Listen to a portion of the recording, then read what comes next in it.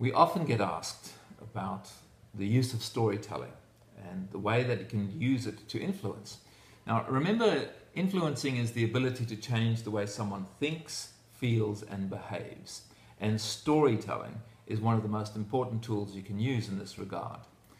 Welcome to the Colin James methodology. And in this short analysis of business storytelling, we'll share with you what the three keys are based on our analysis over the years of research we've done into this. Any website you go to, one of the things you'll notice on uh, websites that are selling or positioning something that they'll have testimonials. What are testimonials? Well, testimonials themselves are a small story. They're the story of somebody describing their experience of the product or service that was on offering.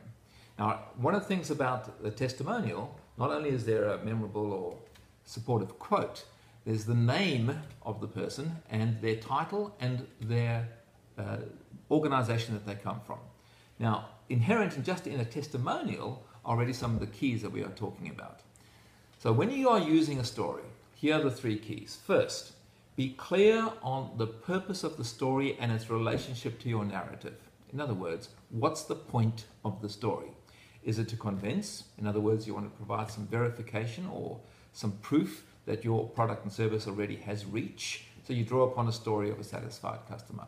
Is it to overcome resistance and objections? In other words, you tell a story of where someone was in a similar position than the person that you're telling the story to. They can see themselves in that situation, and as a result of learning from the behavior of the story of what occurred in the story, they can see themselves applying a similar practice. It's a way of embedding instruction, or what we call embedded commands, but using story as a way of doing it.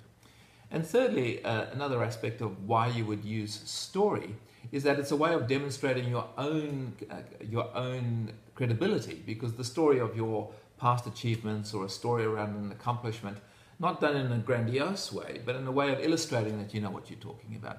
And there are many others but those are normally the top 3